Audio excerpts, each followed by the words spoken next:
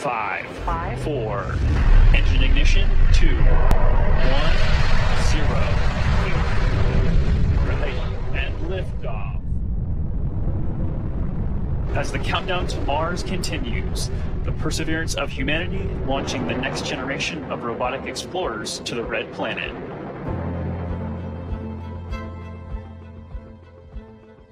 On July 30th, 2020, a United Launch Alliance Atlas V rocket lifted off from Cape Canaveral, Florida, carrying the next generation of Mars exploration vehicles the Perseverance rover and the Ingenuity helicopter.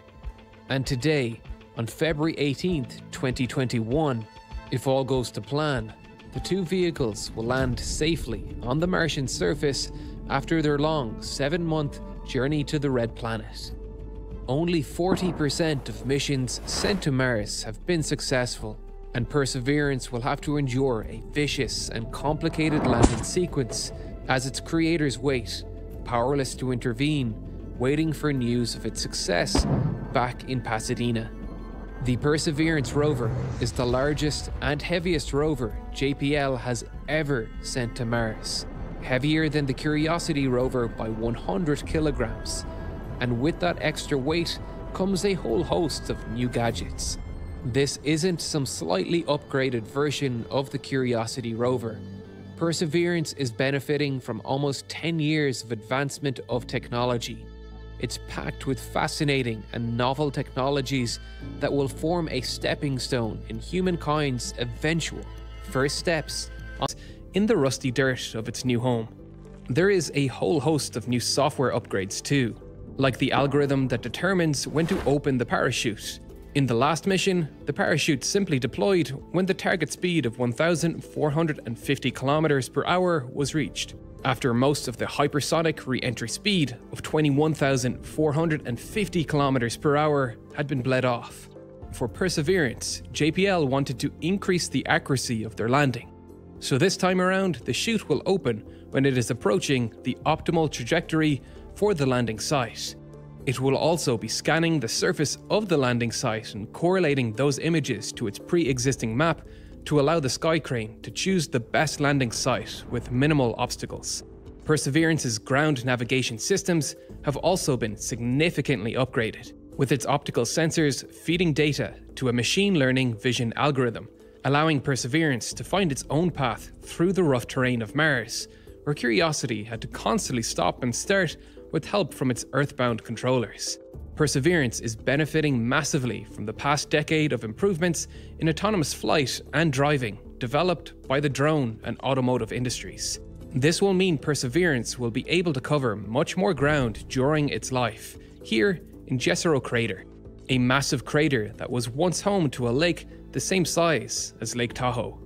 You can see the remnants of this ancient riverbed and delta spilling into what may have once been a habitable body of water.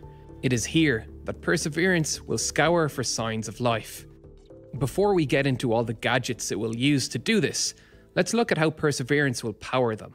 The Perseverance rover features the same radioisotope thermoelectric generator as the Curiosity rover.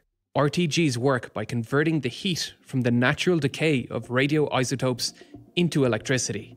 It uses a simple principle called the Seebeck effect to generate electricity. The Seebeck effect essentially allows us to generate an electric to bring soil back from Mars with robots. If that isn't insane engineering, I don't know what is, and we have barely scratched the surface of what this rover is capable of. There is a whole host of new sensors on board that do not require Perseverance to collect soil, each using different forms of electromagnetic radiation to investigate the ground below them. The SHERLOC instrument on the robotic head will look for signs of biosignatures using Raman and luminescence spectroscopy, which both detect molecules based on how they interact with UV light. It will sit about 5 centimeters off the ground, where it will focus its UV laser onto the soil and be able to detect chemicals that would indicate the presence of past life. The rover also has an X ray imager called PIXL that will be able to visualize the texture of the ground below it, looking for tiny variations in geology that would indicate that microbial life has altered its environment. while also being able to detect chemical compositions by observing the fluorescence of the target under X ray electromagnetic radiation.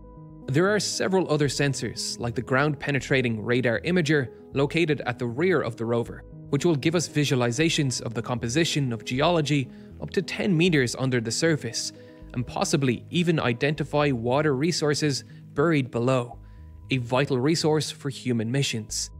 These are just some of the sensors on board, and of course, there are the usual high definition color cameras that are going to send back amazing images to Earth. And this time, we included a microphone, so we'll be able to hear what our future life on Mars may sound like. It may even catch the whirring of helicopter blades off in the distance, because by far the most exciting part of this mission, to me, is the Ingenuity helicopter. After all, if successful, this will be the first time humans have demonstrated controlled, powered flight on another planet. Powered flight on Mars presents many challenges. The atmosphere is about 1% the density of Earth's, meaning there is less air to push down to achieve lift. To combat this, the propeller blades, which are counter rotating to eliminate the need for a tail rotor, have to spin much faster than a traditional helicopter blade at about 2400 RPM.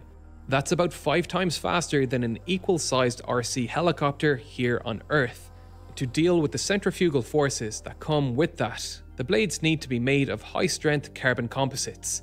These blades also have a much larger angle of attack than your run of the mill blade, allowing them to push a larger volume of air downwards.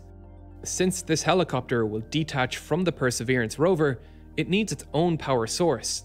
Unlike the planned Dragonfly mission to Titan, this helicopter will not have its own give RTG and JPL the information they need to approve and design a future flying rover.